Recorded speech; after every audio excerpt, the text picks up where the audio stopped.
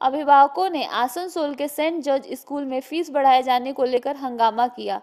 उधर स्कूल वालों का दावा है कि फ़ीस बढ़ाने की नोटिस पहले ही दी जा चुकी थी। एवरी ईयर ये लोग मतलब अनलीगल पूरा फ़ीस बढ़ा रहा है एनुअल चार्जेस बढ़ा रहा है। हम लोगों ने जस्टिफिकेशन मांगा कि ये सारा जो डिटेल्स आपने दिया ये किस चीज़ के लिए? ये लोग हम आपको कोई डिटेल्स हम आपको कोई डिटेल्स नहीं देंगे। देना होगा तो हम लोग सीबीएसई को देंगे। क्यों भाई? हम लोग जब फ़ीस भरते पैसा देते तो हम लोग को अथॉरिटी क्यों नहीं है? दूसरा अदर दिन जो भी यहाँ पे हाई क्लासेस प्रीमियम स्कूल है जैसे आपका एजी चर्च स्कूल है आपका बीआरएस है। बीआरएस के बराबर का रेट ले रहा है। भाई बीआरएस के बराबर आपका एजुकेशन उसका फिफ्टी परसेंट भी नहीं है। फिर आप ये चार्जेस क्यों कर रहे हैं?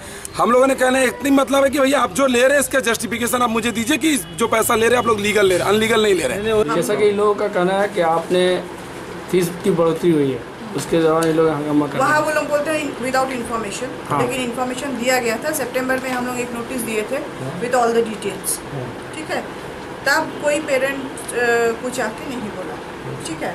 अभी हम लोग जब फ़ी बुक वो लोगों को दिए फ़ी बुक देने के बाद वो लोग बोलता है, इतना बढ़ गया, उतना बढ़ गया। जबकि हम पहले ही वो लोगों को नोटिस दिए थे, इतना बढ़ने वाला। तो they knew very well that so much fees will be increasing why didn't they come that time